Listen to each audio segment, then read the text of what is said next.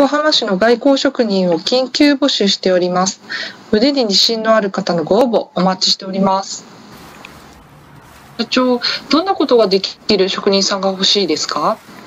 はい、あのうちの工事は一般の住宅の造園外交工事が中心ですので、えーまあ造園工事も含めて外交工事の経験が10年以上ある職人さんが欲しいです。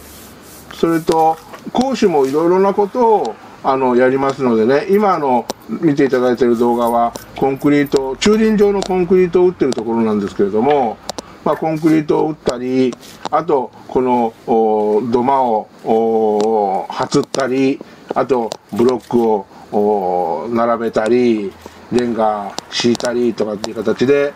お庭のあのいろんな構造物施設を作っていく工事を担当していただきたいんですね。でそれもただ作ればいいっていう問題ではなくってあのまあ朝晩のこのご挨拶ご近所の人たちにもこう感じのいい職人さんだなってあの、まあ、奥さんそのお宅の奥さんもあの感じいい職人さんだからちょっとこれあの頼んでみようかしらみたいな形で声がかけやすいようなそういうあの優しい感じの職人さんをお望んでます。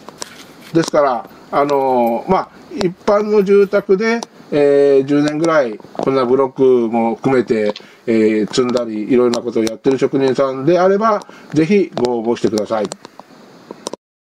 施工キャリアが10年以上で何でもできる職人さん。